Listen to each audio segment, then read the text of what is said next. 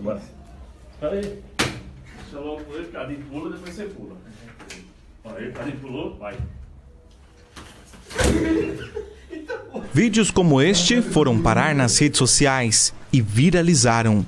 A brincadeira chamada de desafio da rasteira pode causar acidentes. Em outros casos, levar à morte. Nós ficamos é, sabendo desse desafio, é, assistimos alguns vídeos é, que está rolando aí. Esse desafio provavelmente tenha vindo de um outro país, digamos assim, foi importado para o Brasil. E esse vídeo nos causa preocupação porque ele causa uma lesão grave, uma lesão séria, é, região do crânio, região de pescoço. Então, a orientação é que os nossos adolescentes, os nossos jovens, eles não, não tentem fazer esse desafio, porque numa situação dessa aí pode ser fatal. Só que essa não é a primeira brincadeira que faz vítimas. Em anos anteriores, a Momo e o desafio da baleia azul também fizeram.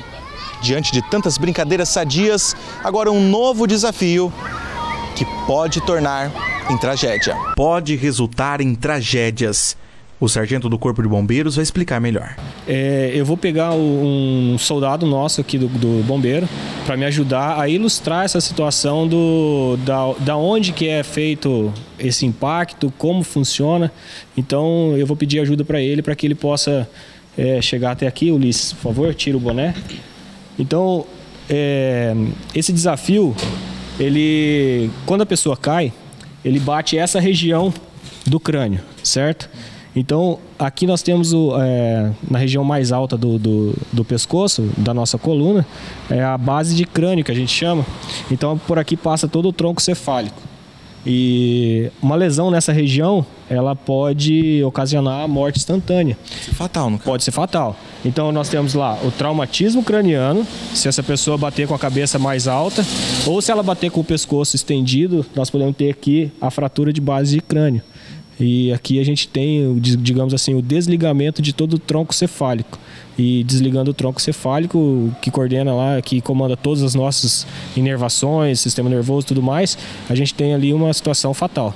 Na rede municipal, nenhum caso foi registrado em Campo Mourão. É bem triste quando a gente percebe certas brincadeiras que era para ser uma brincadeira acaba sendo um transtorno, né, tanto para o ambiente escolar como para as famílias. E agora, recentemente, mais uma brincadeira que está circulando aí alguns vídeos e isso preocupa muito, né? Tanto o ambiente escolar, né? Equipe gestora, os professores, como os pais.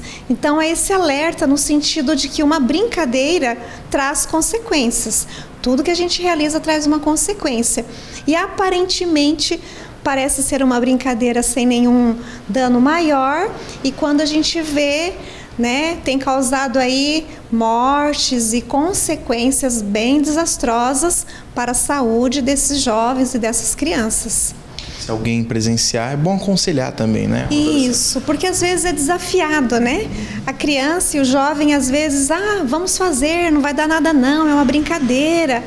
E às vezes naquele desafio é, acaba se envolvendo e quando percebe acaba acontecendo uma tragédia.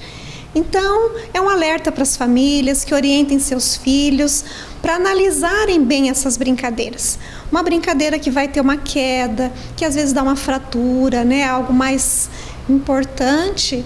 Então, explicar que o que é de fato uma brincadeira e o que de fato não é. Então, nós contamos com as famílias, porque às vezes essas brincadeiras ocorrem ali no intervalo ou na entrada, na saída de uma escola e o professor nem está vendo. Essas orientações a gente também vai repassar para as escolas municipais, acredito que as estaduais também, mas nós necessitamos desse apoio, do alerta dos pais sobre essas brincadeiras, né, que estão acontecendo nessa chegada, saída e também nos intervalos. Então fica o lembrete. Brincadeira, ela não pode, esse desafio ou essa brincadeira, ela não pode nem ser feita, né?